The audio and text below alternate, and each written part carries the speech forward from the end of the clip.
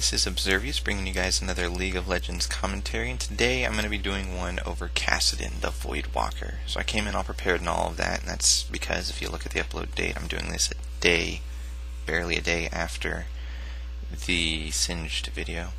But this is going to be a pregame. It was requested, so I figured I've got the time, so why not do it now? Because Kassadin is a champion that I know fairly well. So Kassadin's a Void Walker. As you can see on his attributes, he is an assassin. He's a mage, and you see that whole Void thing on his arm. He is a melee attacker. Traditionally, you build Kassadin AP, but there are a few oddballs out there who do build him AD, and you know do the whole Rift Walk in. Oh, you're silenced. You can't run away or CC me. Oh, you're slowed. You can't run away. Oh, I'm penetrating your armor. And in order to fund all this, I'm whacking you and getting bunches of mana too. You think you can escape me? Rift Walk forward to you. That sounds nice for AD, but as far as AP, it's more of a I can stay on the edge and kill you and don't even have to auto attack you. So, two different playstyles. We'll get into that in a little bit. Going on on this main screen, it does say he has average health. He has average health. He's not quite a squishy because he is an assassin. I think you have the bruiser tag if he wasn't so assassiny. In fact, several bruisers did have the assassin tag, like Jax. Um, but you know he has played more AP, but he has to have average health if only to make that melee build viable. As you can see, his actual attack power is relatively low. With Kassadin, you're going to be wanting to go into a Lich Bane or a Sheen type build, as you know he is more set up towards spells. And to encourage that, you can see on his spells it does say strong. Now his difficulty is hard because there are several different ways to play Kassadin. Another way to play Kassadin is stacking his ultimate, which is sort of like a flash uh, to do uh, additional snowball based damage. Again, we're going to get to those skills in a second. And have it do tons of damage at the cost of lots of mana. On the flip side, it's all about positioning with casting. You have to know when to rift walk in, when to rift walk out, as well as, you know, charging up that uh, force pulse and that AoE slow that he does with it. So that's why his difficulty is hard rated. Personally, I think he's more of a medium, but Riot has rated him a hard difficulty. Going to his abilities, I've already mentioned several of them. Null Sphere is his bread and butter ability. It's basically cast and fires an ethereal bolt of void energy, dealing damage and silencing the target for a duration. What you're going to do is you're going to get this ability first. You're going to try not to harass with it at level 1 unless you need to, as far as defensively um, you're going to really want to start harassing with it at level 3 when it's level 2, as at level 1 they're going to regenerate the damage that you do to them unless you couple it with ranged attacks, which you don't have. And if you go up and try punching them in the face with your Null Sphere, maybe Null Sphere Ignite, I sometimes like doing that as an early combo and then no more Null Spheres till 3, or Null Sphere Ignite in a melee attack if for some reason they want you in their face or something. I don't know. But Null Sphere you're going to want to max out first uh, it's just a really nice burst single target damage ability with a fairly short cooldown. And Netherblade is his melee attacks passively restore mana. You're going to get want to get one point in this at level 4. If you want to never ever ever get a mana item on Kassadin, you're going to want to get one point at level 4. If you're a person who likes stacking rift walks, which I'm not because that's more of an EU thing. If you're a person who wants to go AD, then you're going to max this if you're going to go AP and you're going to build a Tear or some other mana item to help cancel this, you're going to go ahead and get a point in Force Pulse at level 4 instead. Force Pulse, going to this ability, it's he draws energy from spells cast in the vicinity. Upon charging up, casting can use his Force Pulse to damage and slow enemies in a cone in front of. Base, or in front of him. Basically, this means that every time six abilities are used within a certain radius of him, it's hard to tell the exact radius numbers without looking it up, but when abilities are used basically inside of his view, he gets a force pulse charge. At 6, he can use the ability. If it's not at 6, he can't use the ability. Because of this, he has a somewhat hard time farming those huge creeps of minions that are pushing on the sides of the map, as he'll have to have an ability charged in order to use it. But 3, 4 ish, with some decent AP, he can go ahead and just wipe out minion waves with one force pulse. This is mainly used to kill running away champions, to initiate with a huge AoE slow thing. And by initiate, I mean the tank initiates and then you hit them all with a slow as your opening spell. Preferably, though, you throw on your, is it 3 second silence? Maybe 2 second silence? That Null Sphere started first. Rift Walk, the infamous Rift Walk that is Kassadin's true signature ability. It's his ultimate. Kassadin teleports to a nearby location, dealing damage to nearby enemy units. Basically, if you land on top of them or in melee range of them, you deal damage to them. Additionally, multiple Rift Walks in a short period of time cause them to cost additional mana and deal more damage. So basically, it's got a varying recharge depending on your cooldown reduction and what level it is but it's going to do more damage, of course, as you level it. But other than that, it's going to cost you 100 more mana per Rift Walk if you've Rift Walked within 7 seconds. So leveling the Rift Walk skill if you don't want to pay that extra mana is kind of futile if you're not stacking Rift Walks. I, I don't know. Um, with Kassadin, I've really been experimenting with not leveling Rift Walk until last, even after W, and maybe not after W. W is pretty bad as it is. Um, but we'll see as far as how that goes. So those are his four abilities. Riftwalk is awesome just for escaping and all of that. He's been known in the whole Summoner's Journal lore thing as the uncatchable assassin. He doesn't be caught unless he wants to. His playing as is he has multiple item paths. He can go caster or DPSer or anti-caster, etc. His passive, by the way, reduces all abilities.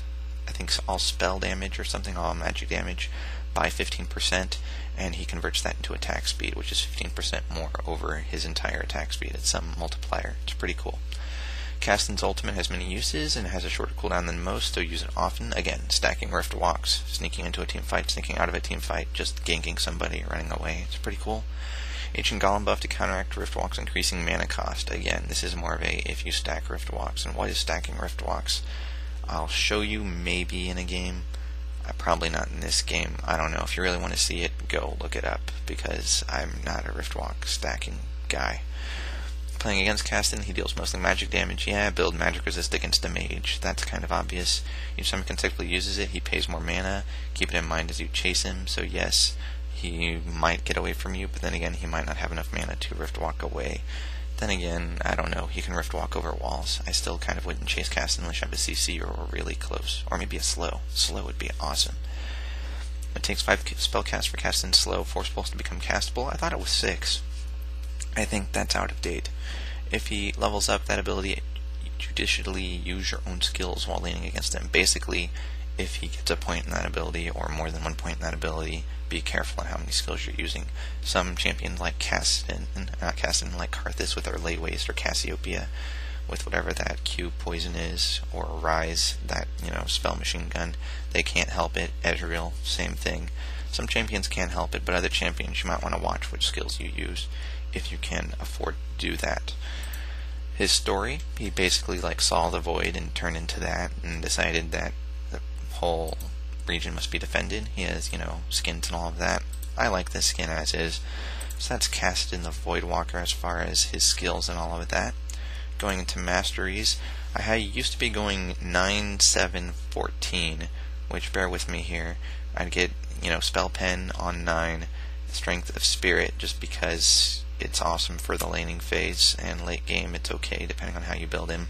And then this is just because I need the experience mana regeneration is kind of a must since I don't build mana items. Greed is awesome. Get expanded mind because they're leftover points. And I got a point in Burning Embers instead, as I will be carrying Teleport and Ignite. I sometimes used to carry, well, I normally carry Ghost Ignite, but I figure Teleport Ignite is also a fairly valid combo as I have been going on a ward buying spree at the moment. Exhaust is fairly awesome. Ghost is fairly awesome. Again, this is more for chasing exhaust. If you take exhaust, take improved exhaust. Reduce that magic resist to help you kill that person or at least escape. I don't know. Revive, again, is more of a choice skill. Fortify, I don't really agree with unless you're building an AD. Clairvoyance, I've sometimes taken because you only really need the Ignite. You don't really need anything else. Rally, again, no. Clarity, if you have mana issues with Kassadin, take it. Flash is an early Rift Walk. It can be kind of really disturbing for their team if, you know, you Rift Walk to them and then you flash and then you Rift Walk again and suddenly you've closed half the map. Uh, that might be a slight exaggeration, but you get the drift. Cleanse if you know you're really afraid of CC. Teleport is what I'm taking, low on mana. Recall teleport back, teleport in and back door, teleport to a ward, and just suddenly gank their face. Smite, I have never seen a jungle Kassadin build, but hey, I'm sure there's one out there, and it's probably super duper amazing. But until then, yeah, don't take smite unless you're jungling. Going to go off into runes. I was previously playing a game with a ranged carry. For this, I'm going to be taking my AP support page until my AP carry page is done. Um, this is what I took on Maokai, which is hilarious because he's more of a tank, but hey. Um, mana regen per level seals. Again, I'm not taking mana items or mana regeneration items, so I'm going to want this. Magic Resist blues because Magic Resist he's an anti-mage. Uh, if you put him against a mage, Kassadin wins. He's the Jax of, well, mages, I guess, assassins. Even though Jax is no longer an assassin, he's just a bruiser. Spell penetration, it just gives you so much more damage going spell penetration. And then gold quintessences, which, if you do the math, this plus greed in a 40-ish minute game gives me an extra thousand-ish gold. Especially with me on a gold buying spree, that's pretty awesome.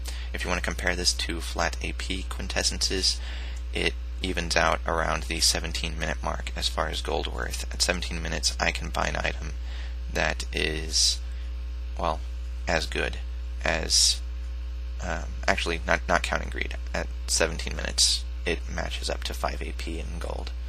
With greed, I can actually probably buy a Doran's item at like the 20 minute mark and far surpass it to be like having HP quints and AP if I just went and bought a Doran's ring at the 22 minute mark or however far in.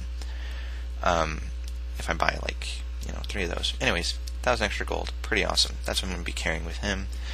And I'm going to go ahead and try to keep this short, which means I'm going to go ahead and queue up. Now, I do very much apologize for the team that I'm going with in advance, as I am going to go ahead and be, you know, fairly insta-locking, and I hope my team will forgive me. So I'm going to go ahead and hit that play now button, picking out Kassadin, going to go ahead and try to lock in. Oh, sweet, we have a tank. That's awesome. And looks like I didn't have to worry about that. Switching my runes up. Going to go ahead and set this up to get ready to see you guys in the next section. And actually, I just realized I need to launch Fraps. So I'll be doing that in a bit. And yes, the top is cut off a little bit. Uh, that was a little bit my fault on adjusting the window size. Meanwhile, Grinch has still not picked a champion. We're waiting on him to pick a champion. So bear with us.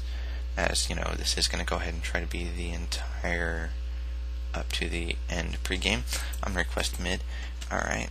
May I mid? Looks like Kennen's going to be our fifth, which is going to be fun as we're going to have Tank Rammus slash Initiator Rammus, KK. Um, many AoE CC slash fun AP shenanigans Kennen. Joe says, uh, what? No? Huh. Rammus says him and Mundo have mid. Uh, two mid. I am confused. Is he trolling? Is he not trolling? This is very confusing. Hmm.